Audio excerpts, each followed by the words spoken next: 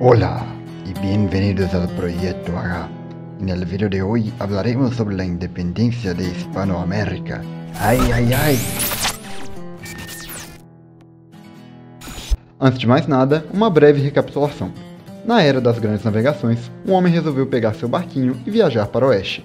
Depois de muitos meses de viagem, ele desembarca numa terra cheia de gente pelada, muito ouro e riquezas naturais.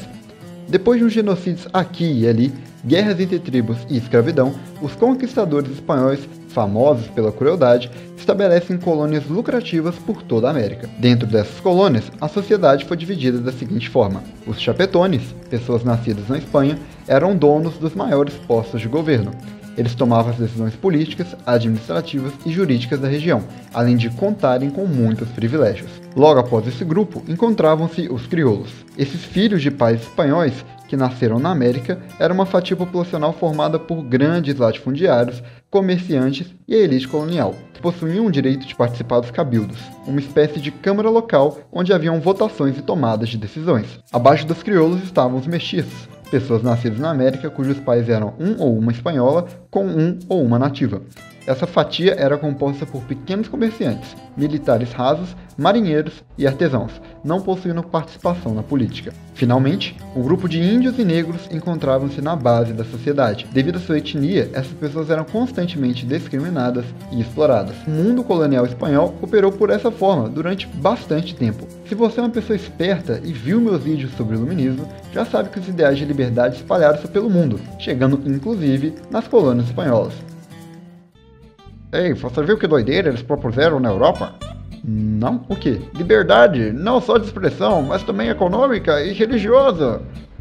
Nossa, mas essas coisas são muito boas. Pois é, mal posso esperar para chegar em casa e contar para minha esposa que é obrigada a ficar isolada na minha fazenda com meus 15 escravos negros indígenas sobre isso. Cara, eu vou fazer o mesmo! A partir de um ponto entre 1750 e 1800, os colonos espanhóis queriam começar a provar do néctar do liberalismo. Os crioulos queriam coisas como liberdade econômica, podendo comercializar com qualquer um, excluindo monopólio, regulação ou taxas por parte da metrópole, maior participação política, querendo assim expandir o poder que possuíam na administração colonial, insistindo em controlar os cabildos. Por fim, almejavam o fim do sistema colonial querendo tomar as rédeas políticas e econômicas de sua nação. Durante esse período, essas ideias só ficavam flutuando pela América Espanhola, sem nenhuma tentativa sucedida ou relevante de tomada de poder. Aos poucos, a fogueira da independência foi sendo alimentada. Em 1783, os Estados Unidos derrotaram o Reino Unido, tornando-se independentes, essa vitória alimentou as esperanças dos crioulos de uma possível vitória sobre a Espanha caso uma guerra ocorra. Em 1789, a Revolução Francesa explodiu. Os ideais de liberdade mais uma vez ecoaram sobre o solo latino-americano. Por fim, as revoluções liberais que eclodiram na Europa, com direito de propriedade privada, liberdade econômica de expressão, estavam sendo distribuídos aos cidadãos por meio de intelectuais, enciclopédias e universidades. Ao adentrar o século XVIII, os cidadãos coloniais estavam loucos para emancipar-se da Espanha. Ideais de independência e liberdade já estavam firmes, bastando apenas uma oportunidade para derrotar o decadente Império Espanhol. Mas qual seria essa oportunidade? Posso dizer que ela veio a cavalo, um branco na verdade, com um homem baixinho com baguetes e vinho na mão. O nome dessa oportunidade era Napoleão Bonaparte. Depois de tomar as rédeas da França em 1799, Bonaparte começou a se expandir pela Europa. Impôs o bloqueio continental contra a Inglaterra, proibindo as nações de comercializar com a ilha. Portugal não acatou as ordens e comprou briga com o imperador francês. Napoleão, então, vai marchar para as terras lusas com o intuito de tomar a coroa de Dom João VI.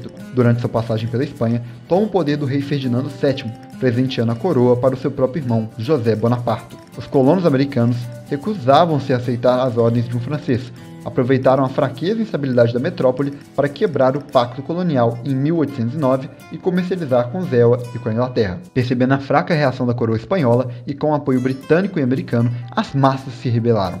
De norte a sul, o continente latino foi tomado por levantes e gritos de independência, com dois homens, Simão Bolívar e José de San Martín, assumindo papéis importantes durante vários processos de independência. Algumas pessoas intituladas realistas eram fiéis ao trono espanhol e tentaram mobilizar exércitos para conter o processo de independência. Após sangrentas batalhas, os realistas foram derrotados e em 1826 toda a América Espanhola ficou completamente livre do domínio colonial.